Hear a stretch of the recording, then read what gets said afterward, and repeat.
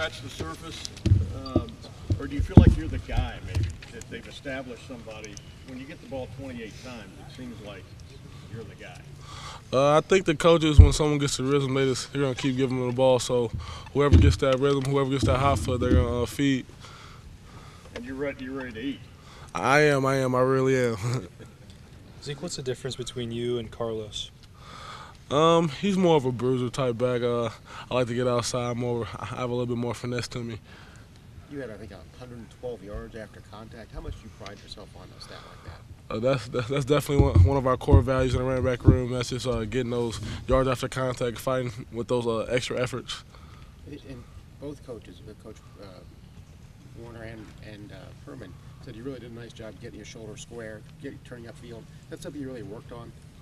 Oh yeah, definitely. It's something that uh, all the backs and Coach Drayton we work on uh, every day.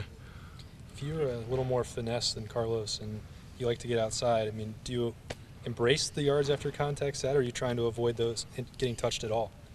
Um, I mean, just being a running back, you know, you gotta be tough. You gotta be, you have to have some bruise too. You know, I mean, you can't just be all outside. You know, you gotta uh, have a downhill aspect to you. So I mean, just uh, it just depends what plays the offensive coordinator calls, and uh, you just gotta go with it.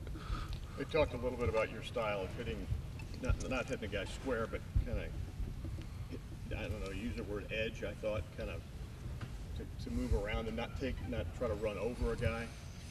So you don't take as many blows.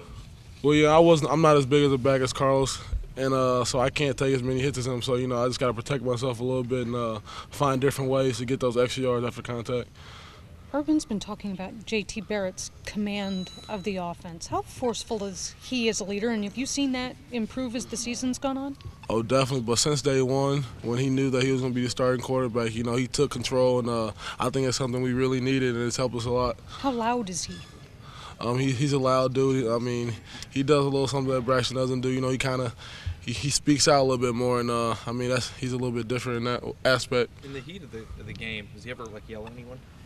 Uh, Or, I mean, does he ever like assert himself as the leader of this team?